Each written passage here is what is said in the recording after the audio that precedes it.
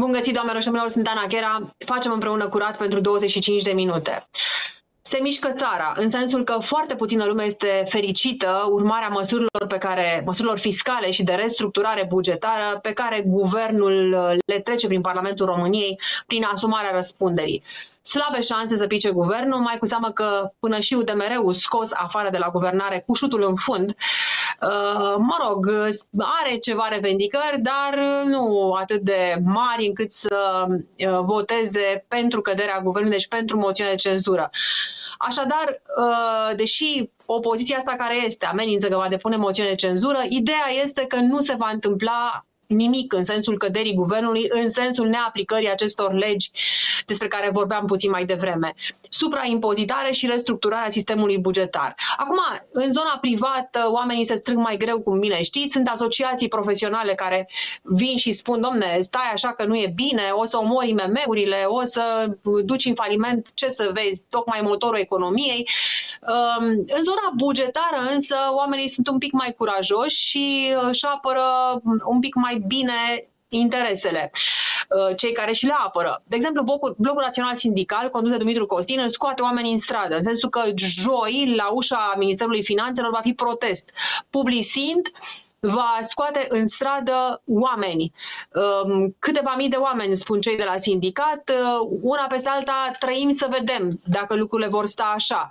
Cert este că între timp nicio negociere, nicio înțelegere, nicio discuție cu primul ministru nu a fost una care să mai înlesnească un pic din lucruri, să mai elimine puțin din uh, bucățile de lege care aduc atingere uh, multor oameni. Financiar, atingere din punct de vedere financiar. Și pentru a vedea care este starea de spirit în sistemul bugetar, vorbim cu președintele Publisind, Ștefan Teoroc, îi mulțumesc foarte mult că este cu noi. Publisind este primul sindicat afiliat unei federații mari, Blocul Național Sindical, care scoate oamenii în stradă și vreau să vă întreb de ce scoateți oamenii în stradă. Să le spunem celor care se uită la noi că reprezentați și polițiști, și din zona magistraturii, și din zona curții de conturi, și de la penitenciare, și din zona de uh, administrare fiscală. Uh, deci, uh, o grămadă de lume, vreo 32.000 de oameni sunt în spatele dumneavoastră acum când vorbim noi. Uh, de ce scoateți oamenii în stradă? Bună ziua și mulțumesc pentru invitație. O singură corecție din zona grefei judiciare, nu magistraturii, că ei nu au drept Grefei judiciare, corect, da. Corect, uh, corect. Ce ne, irită, ce ne irită și ce vom critica public joi, unde uh, noi spunem că minim 1500 de membri publiciți vor protesta în fața Ministerului Finanțelor Publice pentru că ei sunt practic uh, generat actorii acestei situații, invocând uh, încasări foarte slabe la buget și necesitatea unor măsuri de austeritate care să pondereze pierderile și estimările greșite ale modului în care evoluează bugetul de stat. Uh, ce vom critica, spuneam, este exact această strategie enervantă de control al reacțiilor sociale prin aruncarea pe piața unor sperietori, care apoi, în mod surprinzător, se îndulcesc puțin, vezi, Doamne, la final, când proiectul e asumat oficial, astfel încât, acum când ne uităm la el, mai se cădem toți în genunchi de recunoștință că nu se taie chiar așa rău. Și practic cu ocazia asta am și uitat că suntem în 2023 și că legea cadru în vigoare încă prevede că salariile de bază în acest an se calculează prin multiplicarea coeficienților cu un salariu minim care este de 3.000 de lei. Noi trebuie de asemenea să ne bucurăm că guvernele care au blocat sistematic legea cadru în ultimii ani, acum cu maximă generozitate în 2023, permit acordarea salariilor la nivelul 2022, adică anul trecut.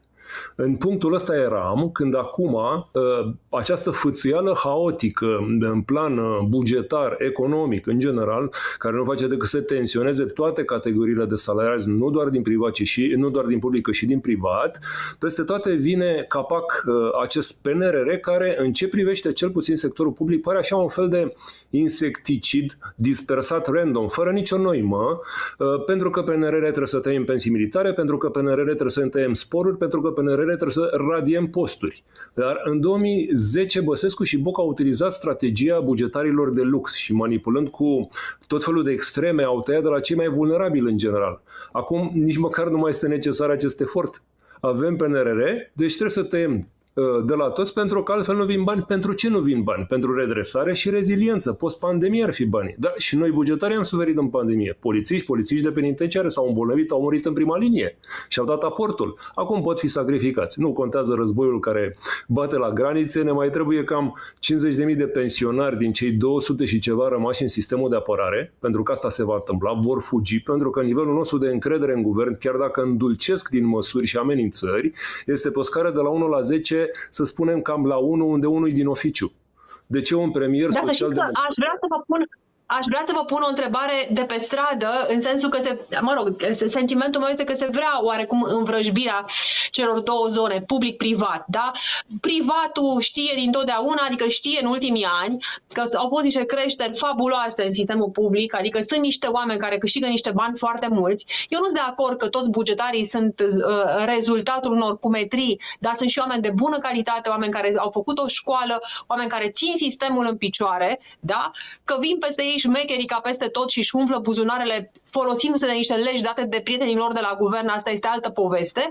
Da? Deci bugetarii sunt văzuți cei, drept cei care apasă apasă uh, uh, povară, sunt o povară pentru stat, că sunt mulți, că au salarii foarte mari, că nu se justifică ceea ce fac, că n-au o fișa postului foarte clară, că sunt foarte mulți șefi și dacă vă uitați în zona asta, uh, Ciolacu și echipa uh, domniei sale uh, satisfac în într-un fel nevoia privatului de a face cumva guvernul curat în sistemul bugetar. Sunteți de acord cu asta? Absolut de acord. Nu suntem nici absurzi. Nu o să spunem că sistemul bugetar din România este perfect. Nu o să spunem că nu există uscături. Nu noi, salariații din zona medie a, sindicat, a sistemului bugetar, l-am înțesat cu pile de partid, cu plante, cum le spunem noi, care de fiecare de se schimbă guvernul, se schimbă și schemele din toate instituțiile. Brusc acum ne dăm seama că sunt prea mulți. Nu noi am înțesat aceste scheme. Acum, ă, de parte de noi, spuneam ideea de a fi absurd și de a spune că suntem perfecți. Totodată adevărat, această tactică de antagonizare a celor două sectoare public-privat este veche, nu este nimic nou. Trebuie să dai într-unii ca după aia să ne dăm seama ca în 2010 că suferă toți. Ne amintim tot ce s-a întâmplat în 2010 când tăierile din sectorul public s-au extins ca efecte în toată economia din România, inclusiv privații au suferit, pentru că tot ceea ce se întâmplă la noi se reflectă. Uh, nu este niciun fel de uh, tactică sănătoasă antagonizare. Pentru noi este simplă treaba. Ok, știm că avem probleme, știm că suntem imperfecți, haideți să ne punem la masă. De ce acum un premier social-democrat simte nevoia să facă reformă, între ghilimele, apelând la o tactică absolut nedemocratică, angajarea răspunderii? De ce fuge de dialog? Asta este întrebarea noastră. Bun, avem probleme, le înțelegem, suntem dispuși să discutăm, să le corectăm, dar nu avem ocazia decât din stradă. De aceea ieșim joi. Nu avem alte opțiuni, pentru că altfel ne uităm la televizor și vedem, a mai apărut un proiect. O fi final, nu o fi final, încă nu i asumat, stați liniștiți. Și de la proiect la proiect, parcă, parcă respirăm ușurați, dar de ce respirăm ușurați? Că se taie mai puțin? Ce să înțelegem? De fapt, această, această, restructurare, această restructurare a sistemului bugetar, una peste alta, dacă se aplică și se va aplica această asumare a răspunderii, deci legile vor deveni legi aplicabile, spuneți-mi, această restructurare a sistemului bugetar, cum va uh, contura sistemul bugetar după aplicare, deci după aplicarea acestor legi, cum va arăta sistemul bugetar? Ce dispare, ce rămâne, cu ce mână de lucru se va lucra, uh, se, va, se vor pune în practică uh, toate fișele posturilor acestor instituții. Opinia mea este că a fost luată așa o lopată de măsuri și aruncată într-un act normativ pe criterii uh, obscure din punctul meu de vedere. Suspectez niște calcule electorale, fiind în an preelectoral, și anumiți indicatori sau parametri care au generat aceste măsuri haotice din punctul nostru de vedere, pentru că, uh, de exemplu, afirm că se radiază tot, toate posturile vacante. Da? Asta este una dintre prevederi. Toate posturile vacante se radiază. Sunt câteva mici excepții care nu rezolvă foarte multe spețe. Uh, după ce radiez posturile astea vacante, mă uit la anumite instituții care nu au un număr minim și le desființez sau le comasez. După ce fac asta, dau afară 15% din salariați. Dar e vorba de 2-3 salariați în anumite agenții județene, în anumite direcții județene, cultură, mediu și așa mai departe. Nu stă nimeni să se uite că în zona aia nu se va mai putea munci Dar birocrația din țara asta n-a fost rezolvată. Vor trebui în continuare făcute documente, proceduri și lucruri și nu ne dăm seama de cine mai exact. Da? Tăiem fără să avem niciun fel de analiză a ceea ce se va întâmpla după. Da. Desfințăm... Uh, dumneavoastră spuneți, o secundă, dumneavoastră spuneți, domnule, e un calcul electoral. Păi ce calcul electoral să fie? Că e guvern de stânga una, că PNL-ul nu există în guvernul ăsta. Este, mi se pare foarte interesant că aceste măsuri sunt aplicate de un ministru liberal. Adică un ministru de finanțe din zona liberală, ceea ce este totuși e noaptea minții dacă să te gândești. Dar mă rog, strigă unii pe acolo pe la liberali, e o răfuială acolo între ei și probabil că acest, această asumare a răspundere probabil că va scinda cumva partidul, se vor duce, vor pleca, vor încerca să zică nu noi, nu noi, PSD-ul. Uh, de ce calcul electoral? Că de fapt bugetarii una peste alta au mers în general cu stânga, iar stânga are nevoie de bugetari ca de o masă de voturi, ca să zic așa, sigure mai ales că lumea cealaltă, da, va lipsi de la vot, așa spun sociologii. Sociologii spun cu subiect și predicat, va fi cea mai mare, cea mai mare grad de absenteism la alegerile din 2024. O minune din cer ar putea să se întâmple ca să iasă oamenii din casă să voteze. Deci, ce calcul politic? Oricât aș fi de, obiect, de subiectiv, n-aș putea să îmi, îmi creez concepția că aceste măsuri n-au în spate un minim calcul. Nu pot să suspectez de absența uh, totală a unei strategii. E posibil să nu vedem tot cadrul, nu știm ce urmează. Anul este departe de a, fi se term- de a se fi terminat. Urmează o rectificare bugetară, se anunță negativă, urmează poate încă o ordonanță trenuleț la anul legea de salarizare. Vorbesc doar din perspectivă bugetară. Habar nu avem cum s-au dus calculele și ce urmează să facă pe ultima sută, cu eu știu câteva momente înainte de anul electoral, ne întârzim cu cine știe ce pleașcă după ce am fost ținuți cu talpa pe cap. Nu realizez da. exact care este acest calcul, este doar o suspiciune că sunt niște parametri în spate care au generat acest efect pe care îl vedem acum ca proiect. Uh, totuși... Uh, A, deci dumneavoastră prezent... spuneți, iertați-mă, domnule președinte, dumneavoastră spuneți, de fapt, cu alte cuvinte, taie acum masiv, ca la un moment dat, mai aproape de momentul electoral, de momentul ștampilării buletinului de vot, să vină cu niște creșteri astfel încât oamenii să fie mulțumiți că, uite, a mai picat ar ceva, asta, n-a mai picat ar ceva. Ar fi asta o tactică nouă, ar fi asta o strategie care surprinde pe cineva. N-am trecut prin atâtea etape de acest tip și n-am constatat dacă nu, eu știu, lucruri concrete în acte normative, cel puțin proiecte în uh, campaniile electorale și în uh, programele de partid și promisiuni, care, bineînțeles, după ce au la puterea, imediat se diluează, pentru că așa se întâmplă, invariabil. Vreau deci, mai să mă răspundeți punctual, domnule Teoroc. Iertați-mă o secundă, vreau să răspundeți punctual. Deci sunteți de acord că trebuie o restructurare a sistemului bugetar? Sunteți că sunteți de acord, da? Că este un sistem expandat și pe alocuri nefuncțional, pur și simplu. Adică trei băieți care poartă o foaie și unul care muncește. În general, cel care muncește e ăla care trebuie să fie în sistem. Da? Oriunde. Unu, deci spuneți că trebuie restructurat sistemul, dar că nu așa, otova, și să facă să dispară practic niște uh, secții, niște instituții, niște bucăți de instituții fundamentale pentru existența acelei instituții. Da? Și doi, spuneți dumneavoastră că și, și la salarii ar trebui să se umble. Considerați că sunt salarii în sistemul bugetar mult prea mari pentru cât își permite România acum și în comparație cu cele din sistemul privat? Dacă aș începe cu ultima întrebare și aș lua ca referință marea masă a membrilor noștri, răspunsul e negativ. Acum, sigur că nu. marea majoritate a membrilor noștri nu sunt din topul sistemului public. Nu, și o știm toți că cei care au salariile cele mai mari din zona publică au legătură cu zona politică. Nu știu dacă are cineva vreun dubiu. Îi spun eu acum vreun mare mister.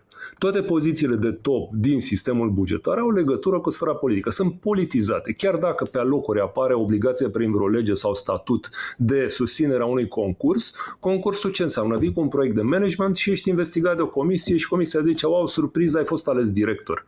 De azi ți-a început raportul de serviciu sau contractul individual de muncă. Dar știm toți în ce constă asta. Nu noi am creat acest sistem și eu personal nu cred că vreodată va putea fi reformat în toată profunzimea lui, pentru că așa este creat să funcționeze și are strânsă legătură cu modul în care funcționează politica în zona noastră, în țara noastră este alterat în intestin. Deci, dumneavoastră spuneți cu alte cuvinte, spuneți cu alte cuvinte că sunteți de acord cu tăierea unor salarii din sistemul bugetar, dar salarii ale celor care au venit pe filieră politică în sistemul bugetar. Asta spuneți. Evident, asta spun. Deci să se analizeze și să se taie de acolo unde într-adevăr sunt abuzive, dar dacă constat că un salariat are un volum de muncă considerabil și sunt posturi vacante pe care le suplinește prin atribuții, tocmai pe ăla îl radiez, îl desfințez, îl disponibilizez și mai și tai dacă cumva rămâne în sistem, asta nu o putem pricepe cum o gândesc. Da? Ne amenință acum o lege nouă de salarizare prin care se diminuează sporuri și așa mai departe. Deci o avem ca și, uh, să zic așa, succesiune. Întâi pensiile de serviciu, da, scoatem în evidență pensii mari de magistrați, dar tăiem și pensii militare. După care vine legea cadru de salarizare, tot impusă de PNRR, care diminuează sporurile la 30, la 20 și așa mai departe. Deci sunt în valuri, ne uităm și ne întrebăm, se cere performanță și se spune gata, de acum uh, salarizarea din sistemul public urmează criterii de performanță. Ce performanță să ai dacă în fiecare zi ai o amenințare cu privire la salarizare, la pensii, la drepturi, la sporuri și la tot? E, nu, nu, nu e contraproductiv. Trebuie să se oprească cumva din vria asta și să putem înțelege care le este strategia exact. Nu doar să taie, că atâta vedem. Cineva trebuie să cedeze da, și iertați-mă, sistemul, sistemul, bugetar, sistemul bugetar este sistemul care absorbe cel mai mult din, din mediul politic care trebuie să lucreze pentru partidele care conduc la un moment dat România. Deci când spui că sistemul bugetar este supraîncărcat, spui de fapt că noi ne-am trimis foarte mulți oameni, noi din politică ne-am trimis foarte mulți oameni în sistemul bugetar ca să le dăm și noi niște locuri călduțe ca la o adică să întoarcă uh, cumva acest serviciu Uh, să ne întoarcă serviciu, cumva. Ce credeți? Nu vi se pare că este nepopular totuși pentru cei care sunt uh, veniți în sistem pe filieră politică. De fapt, practic, dai în ai tăi. Dai în ai tăi, dar spuneți că nu dai numai în ai tăi, dai și în alți oameni care nu au legătură cu povestea asta. Asta spuneți, de fapt? Uh, o știm toți. Nu se va termina asta. Vom avea din nou alegeri și propun ca atunci să alegem un minister, nu o să putem face asta peste tot, o putem face și acum, dar cel mai bine atunci. Să alegem un minister, poate fi întâmplător Ministerul Finanțelor, și de analizat cum evoluează schema de personal în Ministerul Finanțelor imediat după alegeri. Este atât de simplu. De văzut cum se schimbă secretarii de stat, consilierii, șefii de direcție, ce se diminuează, ce se adaugă și cum se pompează schema. Atât de simplu este. Ne uităm, luăm ca exemplu Ministerul Finanțelor sau altul, nu contează. Și este de la sine înțeles ce se întâmplă, pentru că după fiecare campanie există obligații de partid. Trebuie să satisfaci niște așteptări, altfel de ce ai luat puterea? Să faci România mai bună și atât? Nu, trebuie să spui oamenii pe poziții, să-ți consolidezi puterea să te ții de ea cât mai mulți ani posibil. Deși se pare că în ultimii ani nu prea este posibil să te ții de ea prea mult timp. Da? Și asta se va face Există... invariabil în viitor nimeni, nimeni, adică, mă rog, au făcut de-a lungul, presei, de, de-a lungul timpului, presa a făcut o fel de analize. De acum a crescut schema uh, dintr-un minister, schema de personal, uh, ca să fie bine, să nu fie rău. Deci asta vă zic că mie mi se pare foarte ciudat, totuși, că această măsură care vizează toți bugetarii, restructurarea bugetară, sunt toți bugetarii băgați în sacul ăsta, uh, trecut prin Parlamentul României, prin asumarea răspunderii, guvernului, da? E, e ceva ce dă cu virgulă, pentru că este fix, cum spuneați, ar putea să fie asta ceva foarte rău ca să vină ceva foarte bine mai aproape de alegeri, ca să ai o justificare că faci ceva pentru oameni. Deci de asta eu nu prea înțeleg. Dar m-aș îndrepta, că mai avem foarte puțin timp, către zona asta de supraimpozitare că dumneavoastră spuneți, domnule, bugetarii sunt loviți și de asta, de restructurare, dar sunt loviți și de supraimpozitare. În ce fel?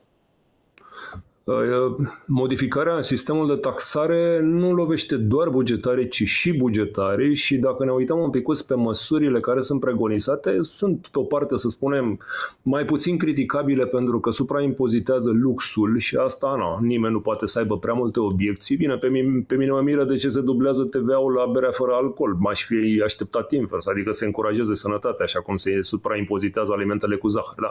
Sunt o felul de ciudățenii, însă acest sistem nou de taxare și creșterea taxelor pe anumite uh, bunuri, pe locuințe sociale, pe alimente de înaltă valoare calitativă și așa mai departe, reprezintă un impact pe buzunarul tuturor, deopotrivă privați și bugetari. Deci este o măsură care, mm, iarăși, strică calculele electorale. Cum spuneam mai devreme, nu ne ajută să înțelegem până la capăt ce vizează. Aproape că tin să spui, băi, frate, oamenii ăștia chiar sunt sinceri, chiar n-au bani, chiar încearcă cumva să țină țara asta pe o linie. Aproape de duci în zona asta, dar sincer nu reușim să avem atâta încredere în uh, guvern. Nu reușim. Ceva este pentru, în spate. Pentru că, într-un fel, pare echilibrată povestea. De dai sistemul bugetar care este suprapopulat, da? Și impozitezi luxul, cum spuneți dumneavoastră, și cum arată cumva direcția asta uh, apropo de legile uh, care vor trece prin Parlamentul României prin asumare. Deci cumva se creează un echilibru. Dar vreau să vin să vă spun, dacă nu să protestați, nu mi se pare că dacă mă uit în spate nu prea e nimeni, adică Uh, nu prea e nimeni, sunteți dumneavoastră de la BNS și probabil că mm, încă lumea se dumirește ce vrea guvernul cu ea. Uh, ce veți face dacă lucrurile vor merge înainte și cu siguranță vor merge înainte, că domnul prim-ministru nu pare să fie de zdruncinat în ideile domniei sale, după toate discuțiile pe care le-a avut, chiar și cu șeful masă de la BNS, cu Dumitru Costin. Deci, ce veți face dacă aceste legi vor trece prin Parlamentul României și ele vor trece? Aș înclina să spun că în ultima perioadă guvernul a devenit puțin cel mai atent la mișcări sociale, pentru că eu știu că și fac niște calcule, dar recenta uh, acțiune a cadrelor didactice a surprins pe mulți. Nu se mai credea posibil ca un volum atât de mare de oameni să iasă în stradă, dar au reușit. Ceea ce o să facem noi la finanțe este vorba de o singură federație. Am promis 1500 de membri pe trotar, o să fim cel puțin 1500. De fiecare dată ne-am respectat promisiunea, o facem și acum. Pentru un trotuar din fața unui minister va fi mult, se va vedea și la televizor, ne vom ține de cuvânt, ne vom vedea probabil cu ministrul sau cu o delegație din minister, habar nu o să ne punem revendicările pe masă și o să spunem ceea ce ne dorim, în primul rând transparență, dialog real și dacă vor rămâne în aceiași parametri lucrurile, vom continua pe aceeași cale plus cu câteva ingrediente uh, în plus și anume blocarea activității în câteva puncte. Unul dintre ele poate fi poliția penitenciară, dar și parțial în poliție. Astea vor face parte din calendarul de protecție care noi îl facem uh, public uh, în scurt timp. Deci să spuneți că se va ajunge până la blocarea activității într-unele dintre instituțiile din statul ăsta, instituții bugetare, da? Sunt și, mi se pare, e întâmplător sau nu că sunt instituții totuși de forță, de control? Vi se, e întâmplătoare povestea asta?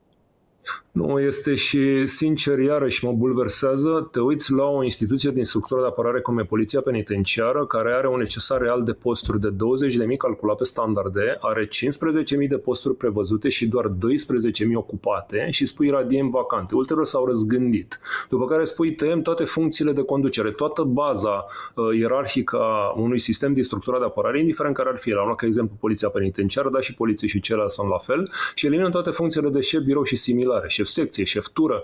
Structura aia în secunda a doua deveni nefuncțională, pentru că e o structură bazată pe ierarhie. Sunt șefii de tură care coordonează unitățile în absența directorului până a doua zi. Nu va mai putea fi condusă, coordonată. Așa funcționăm. Ar trebui să fie restructurată armata română, să nu mai funcționeze pe subordonare, pe disciplină. Nu, nu, nu înțelegem cum au gândit. După care, uh, chiar dacă nu radiez posturile vacante, le blochez prin ordonanță. Sunt suspendate. Ne rugăm prin memorandum să deblocheze parțial, dar îi speriem cu pensii militare care se modifică și toată lumea, toți cei eligibili pentru pensie, fug la pensie. E atât de simplu și totuși atât de prostesc dacă e să folosesc un așa-l simt. De ce să-i sperii să fugă la pensie și apoi să blochezi posturile, amenințând și cu radiere de posturi și cu tăiere de funcții? Mai nou și cu neplata muncii suplimentare. Lucruri care vor duce unde? Lucruri care vor duce unde? Este Unde va duce asta? Exact rețeaua de apărare a României. O vulnerabilizez când avem un război care ne bate în graniță. Da? Pleacă lumea din sistem, va deveni neatractiv, nefrecventabil sistemul ăsta. De ce să mai candidezi pe un post din poliție când salariul este cum este și este amenințat în continuare că nu mai e pensie militară? De ce să vii să candidezi și să ai o, un job? Care este să te duci să iei săbii în cap prin discoteci și așa mai departe? Care este motivația? Considerați că ăsta este cel mai grav lucru ca și consecință urmarea legilor care vor fi aplicate? Este unul dintre cele mai grave în opinia noastră. Da? Plus eliminarea haotică a unor vulnerabilizarea, vulnerabilizarea siguranței naționale. Vulnerabilizarea, vulnerabilizarea siguranței naționale. naționale. Structurii de apărare. Inducând teamă, fuga din sistem prin pensii și blocarea de posturi uh-huh. sau chiar radiere. Am înțeles. Ca o concluzie, um, domnule Teoroc, domnule președinte al Publisind, uh, vreau să-mi spuneți așa ați fost, ați primit telefoane, scoateți oamenii în stradă, guvernul nu are niciun fel de interes să vadă oameni strigând la ușa sa și asupra liderilor de sindicat se întâmplă tot felul de presiuni, dar nu este ceva nou. Asta e de, de când lumea, de când lumea. Uh, ați fost sunat, ați fost rugat, ați fost uh, cumva, vi s-a sugerat că mai bine stați liniștiți? Uh, nu, dar unul dintre motive poate fi și acela că alegem să ne anunțăm acțiunile din foarte scurt timp. Este una dintre strategiile noastre și noi avem dreptul la strategii. Reușim să ne mobilizăm în viteză, ne trebuie doar două zile ca să adunăm mie sau două mii de oameni în stradă. Asta am făcut și acum, am dat comunicatul ieri. Astăzi suntem în adunare, în două zile suntem în fața finanțelor. Dacă ne sună cineva, răspundem la telefon, de acțiunea se va ține. Odată ce am declarat-o și am anunțat-o public, nu ne-am retras niciodată acțiunea de pe trotuar sau din piețe. Vom fi acolo orice ar fi. Mulțumesc foarte mult pentru intervenția la emisiunea curată. A fost Ștefan Teoroc, președintele Publisind, un sindicat cu 32.000 de oameni și parte dintr-un bloc național sindical din BNS. BNS așadar își scoate oamenii în stradă după ce discuțiile la nivel de lider BNS, prim-ministru al României, au eșuat uh, în mare parte. Doamnelor și domnilor, urmărim subiectul cu mare atenție, pentru că, într-adevăr, când un guvern își asumă răspunderea pentru niște legi, legile ori sunt foarte importante, ori sunt foarte greu de trecut prin Parlament, da? ori uh, zdruncina sistemele și atunci mm, îți pui practic mandatul pe masă și spui ori noi, ori ei se, pre, se, se presupune foarte simplu că este ori noi, adică guvernul rămâne, legile vor trece exact așa cum sunt, pentru că presiunea socială, cel puțin până în acest moment, nu este una care să îi facă pe cei de la guvernare să-și pună niște semne de întrebare. Cel puțin deocamdată. Vă mulțumesc foarte mult pe mâine seară.